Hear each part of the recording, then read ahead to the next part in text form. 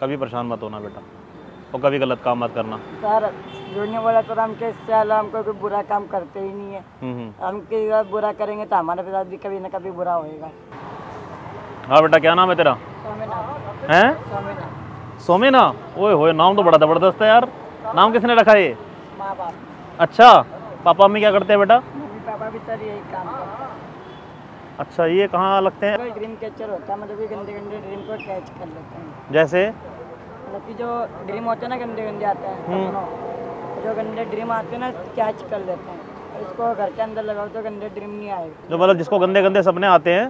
तो ये उसके अंदर घर के अंदर लगा लेगा ना सर उसको गंदे ड्रीम नहीं आएगा। ऐसा, ऐसा क्या है बेटा इसके अंदर?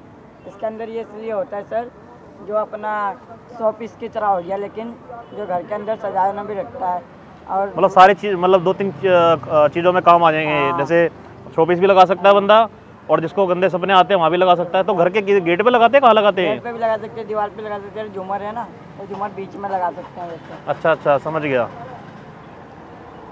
तो ये कहाँ से खरीद के लेकर आते हो आप? सर मैं लाता हूँ दरियागंज से लाता हूँ। दरियागंज से लेकर आते हो? आपकी उम्र कितनी है? मेरी उम्र सर तेरह है। पढ़ाई करते हो आप? नहीं सर पहले जाता था विद्यालय में। तो गलत बात है पढ़ाई की छोड़ी आपने? सर इसलिए छोड़ा सर वहाँ के गंदे स्कूल वहाँ जो सर था ना बड़ा बेकार था सर पढ़ाते थे नहीं। जब दो मिनट के लाके बैठते थे होमवर्क देते थे बस किताब पे चले जाते थे। अच्छा तो आप बेटा अगर सर ऐसे ऐसी हरकत करते थे तो आपने जो प्रिंसिपल होता है स्कूल का उनको क्यों नहीं बोला आपने? सर वहाँ के प्रिंसिपल आते थे ही नहीं। आते नहीं थे? नहीं आते। तो ये थोड़ी मतलब है बेटा कि पढ़ाई छोड़ दोगे? पढ़ाई तो पढ़ाई हमने इसलिए छोड़ी कि सर वहाँ के सर ना बड़े गंदे थे। और वहाँ के बच्चे बड़े बेकार होते जा रहे थे। कोई एक बात बोलो बेटा ये अगर पढ़ाई अच्छे से कर लोगे ना आप ये काम नहीं करना पड़ेगा आपको कभी।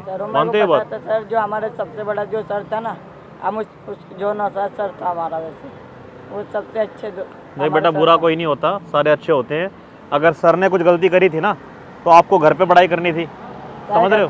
घर पे भी करते थे थोड़ी बहुत तो जो घर पे करना छोड़ दिए जब से स्कूल जाना छोड़ दिया ना जो सर घर पे भी पढ़ाई करना छोड़ जाता ट्यूशन में जाते ट्यूशन में जाते थे लेकिन सर वहाँ के सर ने ना वो जगह बदला दी बहुत दूर था।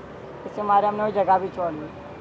अभी आप मम्मी पापा को जो पैसे कमाते हैं मम्मी पापा को देते हो आप? नहीं सर वो अपने लिए रखते हैं सर इसलिए कुछ थोड़ा देर अपने घर के लिए कुछ काम आता है। सर तो मम्मी पापा को पैसे क्यों नहीं देते आप? मम्मी पापा को देते सर किराया जो लगता है ना मतलब कि घर का किराया देना पड़ता है और बाज़ार लाना पड़ता है सामान लाना पड़ता है। हम जो हमारा पूरा परिवार है ना सर वो पूरा काम करके ना हम मतलब कि एक साल दो साल में ना तो किराए पर जो घर है ना हम उसको दे देते हैं।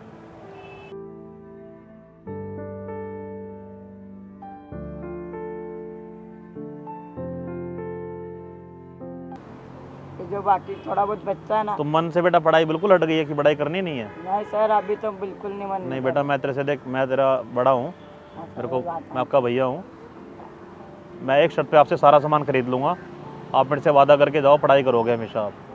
चाहे दो घंटे करो चाहे एक घंटा करो लेकिन करोगे बेटा। और आपके जितने भी दोस्त हैं ना उनको ही पढ़ाई करने के लिए बोलो आप। हाँ है। बिना पढ़ाई के ना बेटा पूरी ज़िंदगी ये काम करते रह जाओगे आप। तो और थोड़ा बहुत पढ़ लोगे ना तो कम से कम बीस पच्चीस हज़ार तो कमा लोगे। मेरा पापा है ना सर उसने पूरी बारहवीं क्लास पार करी है। करी है ना अंकल ने? फिर? इसका मतलब पिताजी आपके पढ़े लिखे हैं? हाँ बहुत पढ़े लिखे हैं फिर? वो कहीं पे खड़े होकर किसी किसी से ढंग से बात भी कर सकते हैं क्योंकि उनको पढ़ाई ना सर मतलब कि आप अखबार भी दे दो ना दो मिनट के अंदर पढ़ लेगा। तो ये देखो ना आपको सारी चीज़ें पता है कि पापा जब इतने पढ़ के इतने सारे काम कर रहे हैं तो आप क्यों नहीं सोचते कि पढ़ाई करने के बाद इतना अच्छा काम हो सकता है? होता है लेकिन सर जो इसके अंदर इसके अंदर कुछ भी नहीं है सर।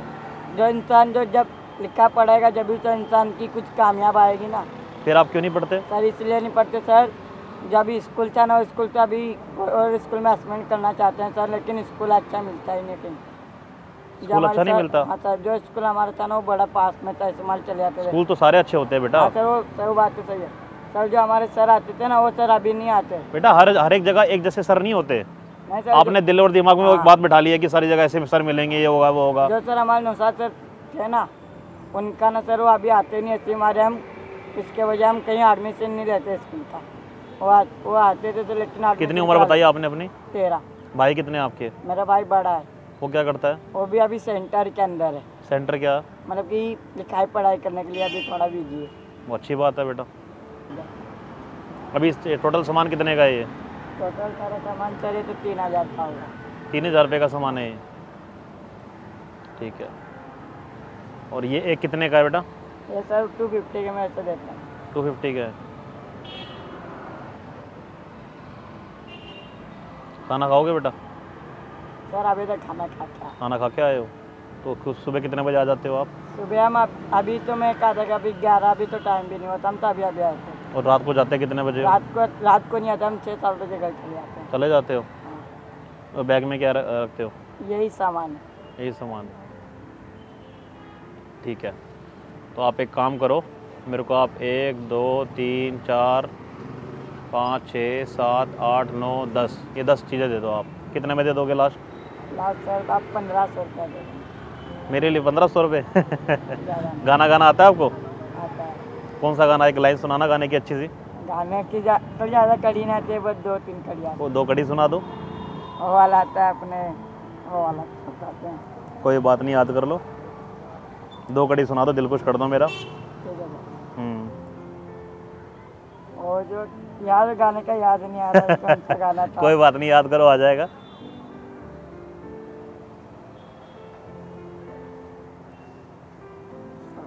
जाता हूँ गाने भी। तो दूसरा गाना याद कर लो बेटा। दूसरा गाना? हम्म, गणपति का गा दो। गणपति जी का गा दो। सर गाने निकालने के लिए मुझे थोड़ा शर्म आती है। गाने की कोई बात नहीं बिना शर्म के आज कर भैया कह रहे हैं आपके कर दो। अच्छा लगेगा मेरे को। गाना निकालने का शर्म बहुत आ शर्म। शर्म। कोई बात नहीं एक बार ट्राई करो ना शर्म निकल जाएगी। मेरे को अच्छा भी लगेगा कि छोटे छोटे से बच्चे ने मेरी मेरी बात मानी है। करो। गणपति का सुनाओ चलो मैं आँखें बंद कर रहा हूँ। गणपति बापा मोरिया मन परेशान करे छोरिया बस। अच्छा। तो डांस भी आता है आपको? डांस आता है? डांस नहीं आता डांस आता तो है यार। डांस तो कभी परेशान मत होना बेटा। ठीक है। ना? ये कभी मत सोचना कि आप आपके पास भगवान ने कुछ नहीं दिया ये कभी मत सोचना बेटा। हमारे देश में आपको पता ना कितने लोग परेशान हैं? बहुत परेशान है। अभी तो लॉकडाउन के चक्कर में सर? कोरोना पैसा निकल गया। हमेशा बेटा खुश रहना जितना भगवान ने दिया उसमें खुश रहना आप। ठीक है ना? कभी परेशान मत होना बेटा। और कभी गलत काम मत करना। सर जूनियर बोला तो हम के इससे अलावा कोई बुरा काम करते ही नहीं है। हम्म हम्म। हम के साथ बुरा करेंगे तो हमारे साथ भी कभी ना कभी बुरा होएगा। हम्म। ये बात है। अच्छी बात है बेटा। ये किसी ने आपको सीख दी है कि किसी के साथ बुरा नहीं करना अगर करेंगे तो किसने ये कौन सिखाता है आपको सारी बात? हमारे मन पर। हम ही आपस सिखाते हैं। मैं बेटा कुछ पैसे दे रहा हूँ, घर पे दे देना आप पैसे, ठीक है? और मेरे को आपका ये सामान कुछ नहीं चाहिए, ठीक है बेटा? गलत गलत नशे वशे मत करना बेटा, ठीक है?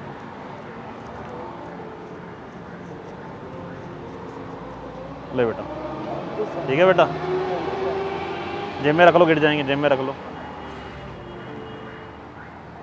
कोई सामान नहीं चाहिए मेरे को, अपना आप घर जाओ बेटा। और इतना पैसा कमा लेते हो ना मतलब पूरे दिन में, अब आपका हो गया, अगर आपने मेहनत करनी है करो अच्छे से, लेकिन पूरे दिन में दो घंटे पढ़ाई कर लो बेटा। ठीक है? अब हंस के दिखाओ। अच्छे से हंसो।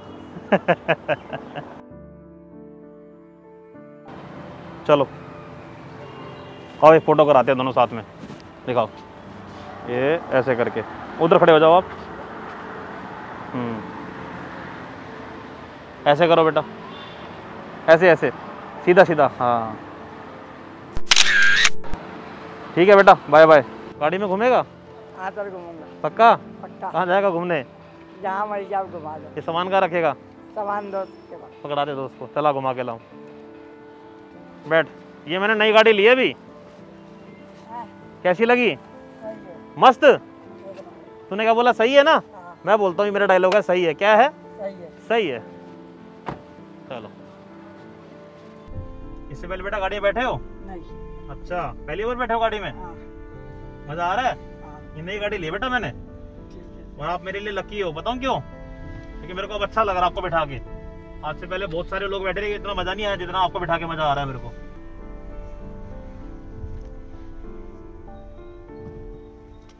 अच्छा है? है बेटा? इसका मतलब पता क्या होता है? नंबर के लिए। लवर के लिए होता है। लव यू टू बेटा लव यू टू